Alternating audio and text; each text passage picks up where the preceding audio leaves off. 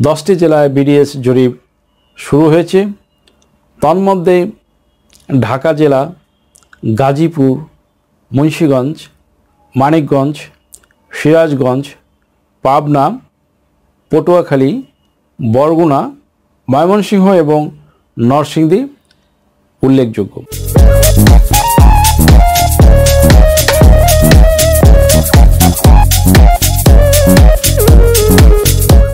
আইনজীবী হওয়ার বদৌলতে অনেক দর্শক বন্ধু দেশে এবং বিশ্বের বিভিন্ন দেশে অবস্থানরত প্রবাসী বাঙালিরা প্রশ্ন করে জানতে চান যে তাদের জেলায় কবে থেকে এই জরিপ কাজ শুরু হবে?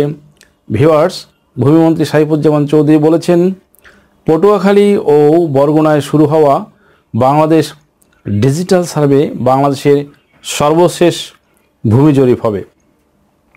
জোনভিত্তিক ভূমি জরিপ কাজ করা হবে।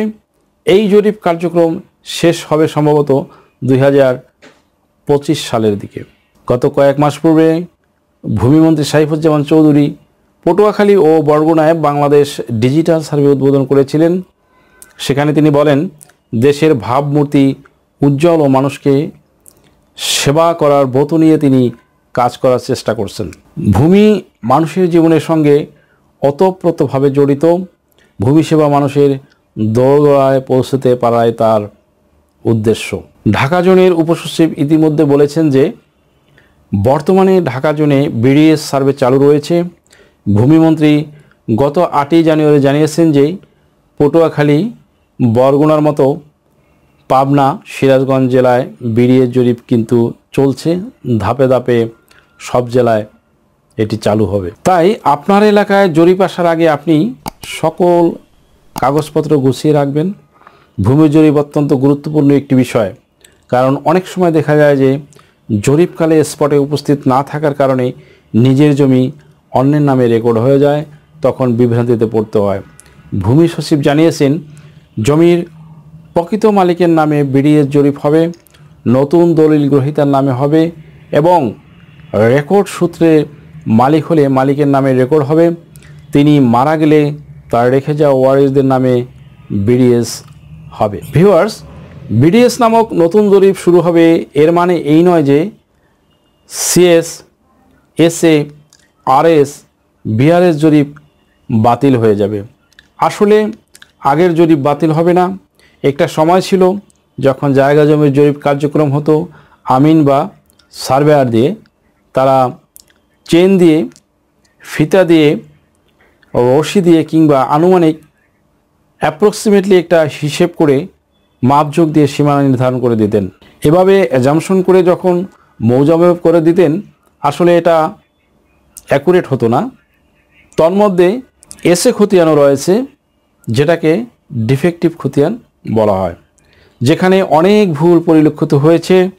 সেজন্য ভূমিমন্ত্রী মহোদয়, ভূমি সচিব ও সংশ্লিষ্ট ঊর্ধ্বতন কিছু বিচক্ষণ হায়ার এডুকেটেড ব্যক্তিবর্গ চিন্তা করলেন যে বর্তমান জরিপে অনেক কিছুই ঠিকমতো বোঝা যায় না, হয়রানি হয়, মাপ, ঝোঁক বোঝা যায় না লেংথ বোঝা যায় না, এক কথায় lot of confused that means অনেক ধরনের জটিলতা। এই জন্য তারা ডিজিটাল জরিপ বাস্তবায়ন করার পরিকল্পনা হাতে নিয়েছেন। ভিউয়ার্স ভিডিওর শিরোনামে বলেছিলাম যে দশটি জেলায় বিডিএস জরিপ শুরু হয়েছে।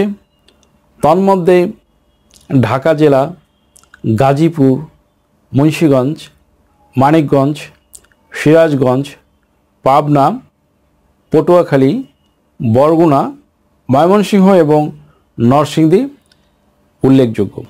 অনেক সময় অনেকের জমি তার প্রতিবেশী বা চাচা বা চাচাতো ভাইদের নামে রেকর্ড হয়ে থাকে। এমন পরিস্থিতিতে আপনারা আসলে কি করবেন? ভিউয়ার্স নতুন বিডিএস জরিপে আপনার জমি, আপনার প্রতিবেশী দ্যাট মিন্স সর্বশেষ যেই ব্যক্তির নামে রেকর্ডে আছে, তার নামেই হবে। তবে আপসেট হওয়ার কিছু নেই, এটা বাতিল করতে চাইলে আদালতের রায় ডিগ্রি নিয়ে বাতিল করা যাবে। এই প্রসঙ্গে ভূমিমন্ত্রী সাইফুজ্জামান চৌধুরী বলেছেন, বিডিএস জরিপ হয়ে গেলে আগামী একশো বছরে এই জরিপ সংশোধনের প্রয়োজন হবে না।